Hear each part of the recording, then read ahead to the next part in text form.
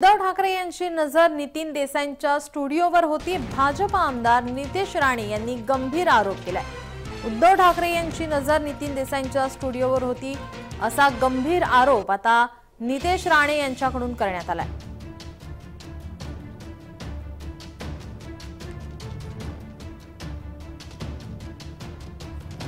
ND studio बळकवण्याचा प्रयत्न हा कोण करत होता?